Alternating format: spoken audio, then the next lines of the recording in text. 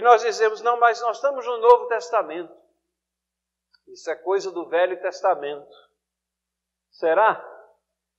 Paulo diz: não estamos sob a lei, mas sob a graça, é verdade, mas a gente compreende bem o que é que ele quer dizer.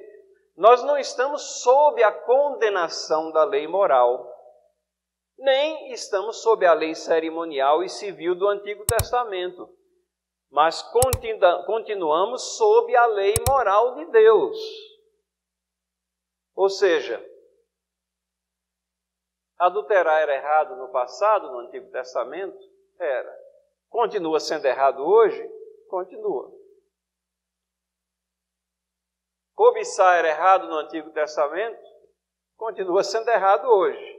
A lei moral de Deus, é, que Jesus Cristo resumido em amar a Deus sobre todas as coisas ao próximo como a ti mesmo, resumindo as, as duas tábuas da lei, mostra a perenidade dessa lei moral de Deus. Assassinar era errado no Antigo Testamento? Era. Continua sendo errado hoje. Então, o fato de dizer que a gente está sob a lei, sobre a graça e não sobre a lei, isso, isso não vai resolver a questão. E temos alguns textos aqui. Mateus 26, 52. Jesus disse: Todos os que lançarem mão da espada, pela espada morrerão. João 19, 11. Jesus disse a Pilatos: Pilatos era aquele que estava condenando ele à morte. Jesus disse a Pilatos: Nenhum poder teria contra mim se de cima não te fosse dado.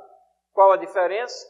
Jesus Cristo não assassinou ninguém, não matou ninguém, não adulterou, não roubou, não cobiçou, não cometeu nenhum pecado, estava lá morrendo injustamente.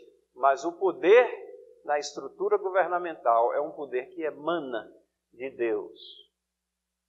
Atos 25, 11, quando Paulo estava lá perante Festo fazendo a sua defesa.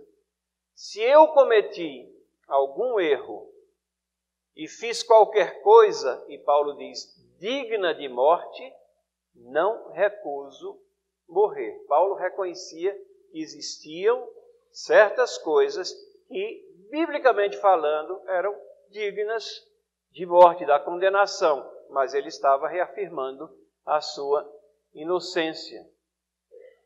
Romanos 1,32, o próprio Paulo diz: são dignos de morte o que tais coisas praticam. Romanos 13, que a gente já vem falando já há algum tempo, versículos 1 a 7, fala das obrigações do governo. A espada é colocada nas mãos do governo como instrumento legítimo de punição.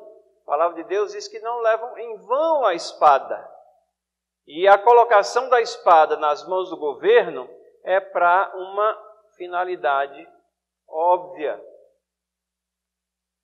Apocalipse 13, 10. Se alguém matar a espada, necessário é que a espada seja morto. Percebem a harmonia dessa colocação lá em Apocalipse com as palavras de Cristo lá em Mateus capítulo 26, versículo 52, princípio de, da justiça, da retribuição, continua válido no Novo Testamento. O governo deveria sim é, suprimir o direito à vida daqueles que não respeitam o direito à vida dos que são formados e criados à imagem e semelhança de Deus.